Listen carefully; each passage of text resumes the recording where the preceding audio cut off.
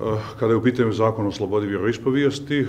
kod mene kao predsjednika Crne Gore imaće isti tretman kao što su imali svi do sada donešeni zakoni. Dakle,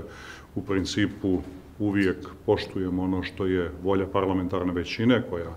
ima jedin, koja jedina ima nadležnost da donosi e,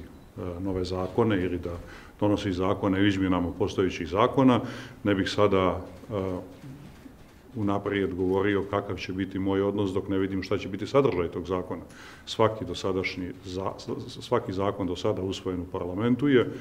prolazio neophodnu proceduru čitanja u kabinetu predsjednika, a nakon toga je e, odlučivano da li će on biti E, potpisan ili će eventualno biti vraćen na e, dodatno arbitriranje u parlamentu. Dakle, kada vidimo šta će biti sadržaj ovog zakona, a čuli smo različite najave od predstavnika nove parlamentarne većine, želim da vam potvrdim da će taj zakon e,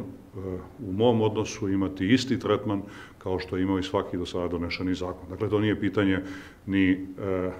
konkret, bilo kog konkretnog zakona, to je pitanje odnosa predsjednika Crne Gore prema e, e ustavnom pravu i nadležnosti parlamenta da donosi zakone, a da e, moja obaveza da ti zakoni budu usklađeni sa pravnim sistemom Crne Gore.